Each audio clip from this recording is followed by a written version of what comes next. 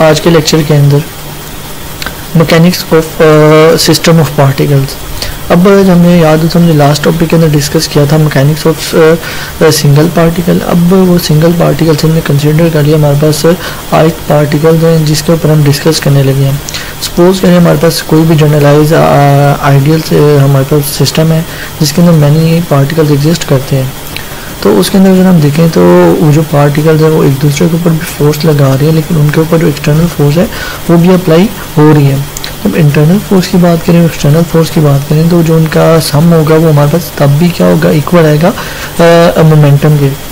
और मोमेंटम जो है बेसिकली किसके लिहाज से चेंज होता है? Time rate of change of momentum simply हम कह सकते हैं जो एक्सटर्नल फोर्स और internal force system of particle के ऊपर अप्लाई हो रही है उसके लिए अगर हम इक्वेशन ड्राइव करें क्योंकि हमारे न्यूटन सेकेंड लॉ के इक्वेशन थी उसको हम ड्राइव करें तो हमारे पास आइथ पार्टिकल्स के लिए हम लिख सकते हैं कि summation J into F J J I plus F I external force where is equal to P I dot where uh, Fgi is the force uh, between the particles that uh, exerted uh, from one particle to another particle.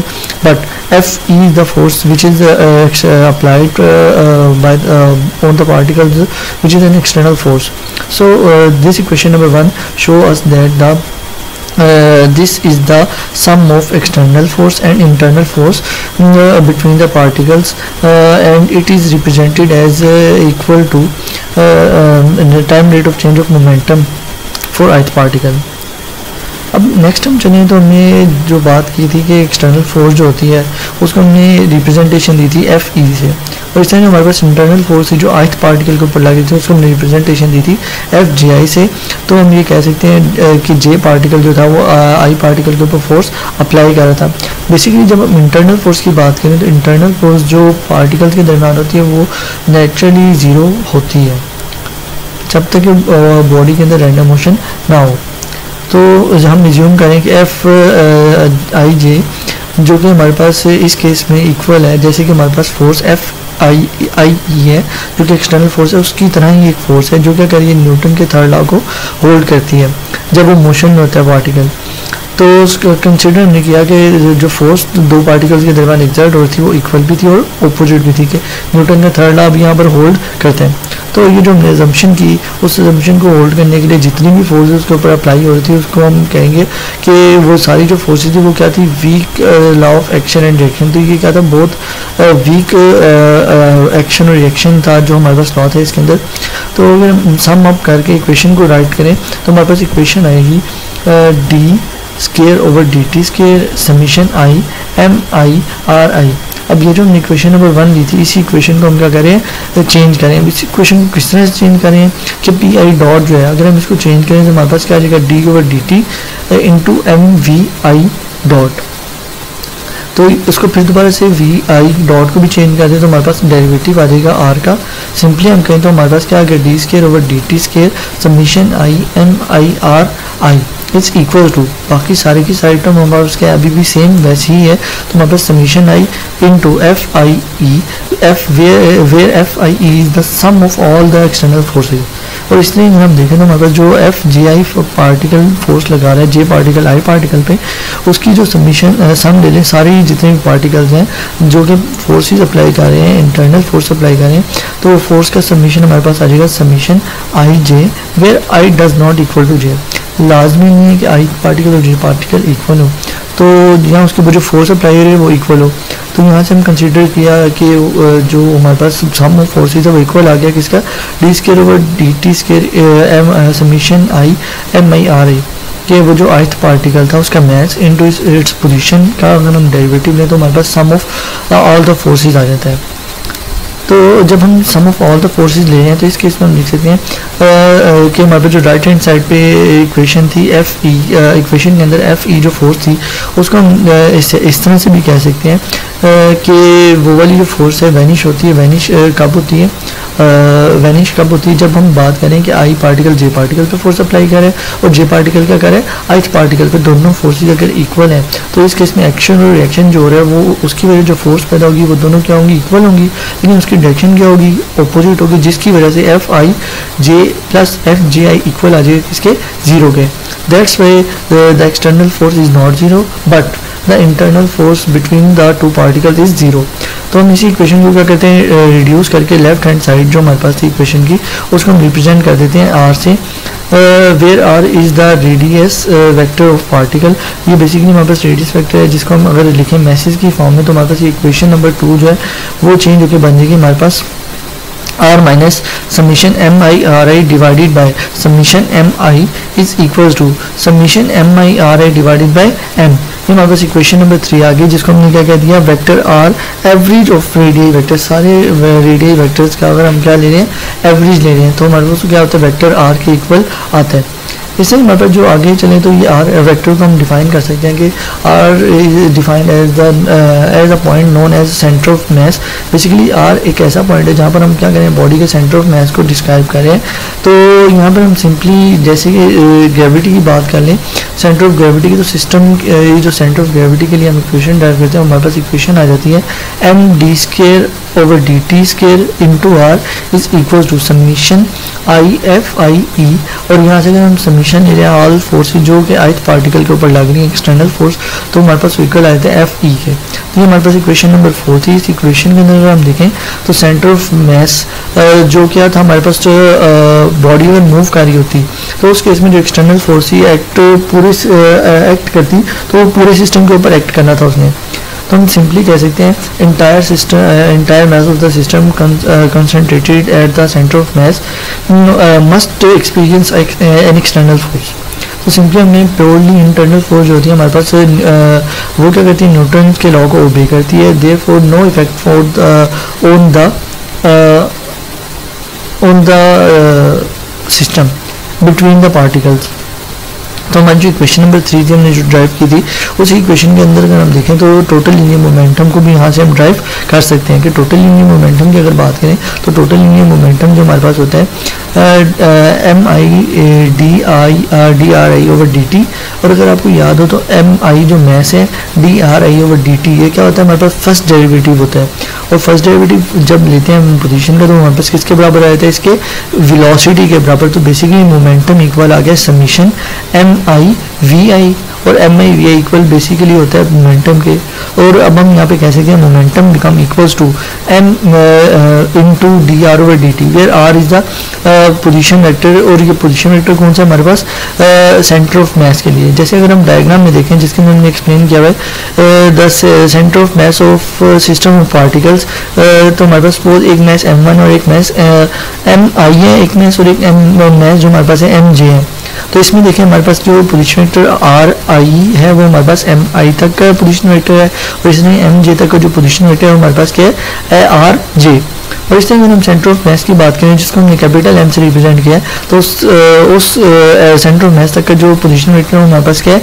Are capital तो हमारे पास जो equation आ गई है, हमारे पास equation explain कर रही है total mass of the system किसी भी टाइम इंटरवल के ऊपर। जब क्या होती है? Velocity of the centre of mass तो यहाँ पर हम कह सकते हैं, जब बॉडी मैथ जो होता है किसी भी सिस्टम का, किसी भी टाइम के अंदर उसकी जो velocity of centre of mass से होता है, वो बेसिकली क्या होता है? उसके टोटल मोमेंटम के इक्वल होता है टोटल मोमेंटम बेसिकली जो होता है, किसी भी सिस्टम का हमेशा कंजर्व रहता है, जिसको हमने लास्ट टाइम भी डिस्कस किया था। तो हम यहाँ पे कह सकते हैं equation of motion for centre of mass can be restated as तो हम इसको रिस्टेट करने लगे जैसे कि अगर हम देखें conservation theorem for linear momentum of system of particle तो हम कह सकते हैं, जो कंजर्वेशन थ्योरम होता है लीनियर मोमेंटम के केस में। सिस्टम ऑफ़ पार्टिकल्स के लिए, जब उसके ऊपर कोई भी एक्सटर्नल फोर्स अप्लाई ना हो, तब हमारे पास जो टोटल लीनियर मोमेंटम होता है, वो क्या रहता है, हमारे पास कंजर्व रहते हैं। इससे याद हो तो हमने यही डिस्कस किया था सिस्टम ऑफ़ पार्टिकल के बजाय हमने किसके लिए डिस्कस किया था? सिंगल पार्टिकल के लिए। अब यहाँ पर सिस्टम ऑफ़ पार्टिकल है और सिस्टम ऑफ़ पार्टिकल के लिए भी हमारे पास वही सेम कंडीशन है कि एक्सटर्नल फोर्स जब तक अप्लाई नहीं होगी तो हमारे पास लीनियर मोमेंटम सिस्टम का क्या रहेगा? कंजर्व अब हम यही करने लगे हैं, हमने लीनियर मोमेंटम को डिस्कस किया तो अब हम एंगुलर मोमेंटम की तरफ़ जाने लगे सपोज़ करते हैं हमारे पास जो एंगुलर मोमेंटम जो सिस्टम का होता है, वो इक्वल होता है हमारे पास L is equal to R cross P इस केस में जो ले लिया, वो क्रॉस प्रोडक्ट ले लिया R I cross P I और हम क्या करें सम समिंग ओवर आई कि जितने भी पार्टिकल्स हैं उन सबके ऊपर हम क्या कर देते हैं सम अप्लाई कर देते हैं। सम अप्लाई करने की वजह से जो हमारे पास इक्वेशन आती है, वो हमारे पास आ जाती है summation I R I cross P I dot is equal to summation I अब बेसिकली यहाँ पर हम देखें तो हमने क्या किया R I cross P I और यहाँ पर हमने क्या कहते हैं डेरिवेटिव जो आ रहा था, हमने उसका डेरिवेटिव ओपन किया तो डेरिवेटिव ओपन करने के बाद हमारे पास रिलेशन आ गया D over D T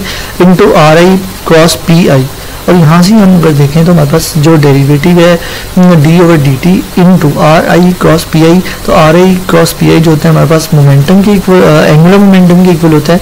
तो हम यहाँ पे लिख सकते हैं D over D T into L और D over D T into L जो हमारे पास होता है first derivative of angular momentum होता है तो सिंपली हम लिख सकते हैं कि जो टर्म है हमारे पास इक्वल आ गई एल डॉट के और एल डॉट जो हमारे पास आ गया, किसके इक्वल आ गया? Position vector R I into F I external plus summation I J where I J does not equal and R I cross F J I ये हमारे पास फोर्स आ गई एक्सटर्नल फोर्स और हमारे पास कौन सी फोर्स आ गई? जो इंटरनल फोर्स थी, जो पार्टिकल्स के दरमियान लगी थी। ये हमारे पास इक्वेशन नंबर सिक्स की अगर हम देखें राइट साइड पे। तो राइट साइड हम कंसिडर कर सकते हैं जो हमारे पास R I cross F G I term है, इसको। इसको कंसिडर ऐसे करने लगे हैं कि सपोज़ करते हैं कि हमारे पास अगर एक पार्टिकल पोजीशन वेक्टर जिसकी आर आई है और उसके ऊपर जो फोर्स अप्लाई हो रही है, वो जे पार्टिकल अप्लाई कर रहे हैं आइथ पर। और इस तरह अगर हम एक और पोजीशन वेक्टर ले लें जे जे ले लें, जिसकी हम लिख सकते हैं representation R J cross F I J कि जेथ पार्टिकल जिसकी पोजिशन वैक्टर हमारे पास आर जे है, उसके ऊपर फोर्स लगा लगाई जा रही है आइथ पार्टिकल की तरफ़ से। तो ये हमारे पास सम आ गया। अगर हम यहाँ सम निकालें तो हमारे पास एक रिलेशन आता है। अगर आपको याद हो तो हमने कहा था कि जो फोर्स होती है आइथ पार्टिकल जेथ पार्टिकल पे लगाते हैं, इसके अपोजिट डायरेक्शन में क्या होती है? एक और फोर्स अप्लाई होती है, जो क्या करता है? जेथ पार्टिकल आइथ पार्टिकल पे लगाता है अपोजिट फोर्स तो जब अपोजिट फोर्स लगाते हैं तो हम यहाँ पे लिख सकते हैं नेगेटिव साइन तो हम यहाँ पे कंसिडर कर लेते हैं कि एफ़ आई जे जो है, वो इक्वल है हमारे पास minus F J I F I J equal आ गया हमारे पास माइनस एफ़ जे आई के तो यहाँ से अगर हम देखें तो हमारे पास टर्म के अंदर एक चीज़ कॉमन ले सकते हैं। क्या कॉमन ले सकते हैं? एफ़ जे आई जो है वो कॉमन ले सकते हैं। तो एफ़ जे आई जब कॉमन ले तो हमारे पास रिमेनिंग टर्म आ गई। R I minus R J तो ये हमारे पास इक्वेशन नंबर सेवन है। यहीं से हम डिस्कस करने लगे हैं तो हम कह सकते हैं कि जो हमारे पास इक्वेशन है कि अंदर ये जो टर्म है, जो कि हमारे पास R I minus R J है। अब यहाँ पर देखें तो एक्शन और रिएक्शन हुआ।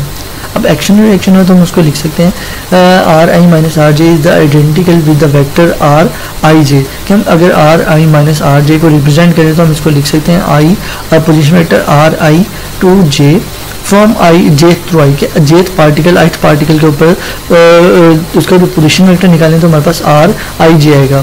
जिसको डायग्राम के अंदर देखें तो हमने देखा है कि हमारे पास एक आर आई पोजिशन वेक्टर है एक आर जे पोजिशन वेक्टर है और इन दोनों के अगर हम दरमियान रिजल्टेंट पोजिशन वेक्टर निकालें तो हमारे पास इक्वल आता है आर आई जे के।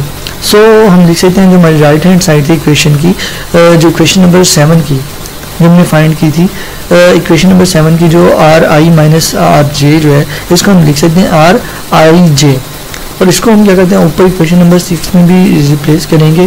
तो हम यहाँ पे कह सकते हैं, जब इंटरनल फोर्सेस बिटवीन पार्टिकल जो होती हैं, जो कि इक्वल थी और अपोजिट थी, और उनको ज्वाइन करने के लिए लाइन जो ज्वाइन कर दी पार्टिकल्स को, वो हम कंसिडर कर सकते हैं law of strong action and reaction तो यहाँ पर हम कह सकते हैं then all these product vanishes basically यहाँ पर जितने भी प्रोडक्ट्स हमने लिए थे, वो सारे क्या हो जाएँगे क्वेश्चन नंबर सिक्स के अंदर वेनिश हो जाएँगे। क्योंकि एक्सटर्नल फोर्स हमने कंसिडर किया कि वो क्या रही है सिस्टम के ऊपर अप्लाई नहीं हो रही तो वो भी ज़ीरो जिसकी वजह से उसकी और दूसरी बात हमने की थी कि जो आर आई जे है क्रॉस एफ़ जे ये भी क्या हो रही है हमारे पास टर्म जब इंटरनल की बात करेंगे तो ये बेसिकली क्या होता है, जो लाइन ज्वाइन करती है, उसकी वजह से इक्वल और अपोजिट फोर्स है, जिसकी वजह से ये ज़ीरो हो जाती है।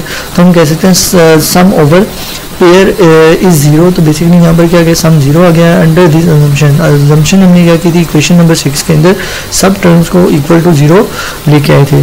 जब ज़ीरो के इक्वल लेके आए थे तो हम सिंपली लिख सकते हैं D L over D T is equal to N into E अब यहाँ पर एन जो हमारे पास टॉर्क है और D L over D T जो हमारे पास है एंगुलर मोमेंटम का फ़र्स्ट डेरिवेटिव है।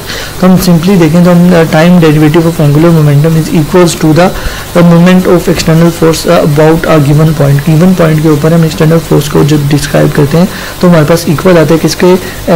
Time rate of change of angular momentum तो यहाँ से अगर हम देखें एंगुलर मोमेंटम के लिए रिलेशन निकालें, अगर टॉर्क ज़ीरो होता तो हमारे पास एंगुलर मोमेंटम जो सिस्टम का था, वो क्या आ जाता? कंजर्व आ जाता। हम सिंपली कह सकते हैं conservation theorem for total angular momentum is in which L is constant in time if applied torque is zero अगर टॉर्क ज़ीरो हो तो हमारे पास एंगुलर मोमेंटम जो होता है, वो क्या जाता है? कंजर्व आ जाता है। और, आज का लेक्चर यहीं तक एंड होता है। इंशाल्लाह कल हम कंटिन्यू करेंगे। अगले लेक्चर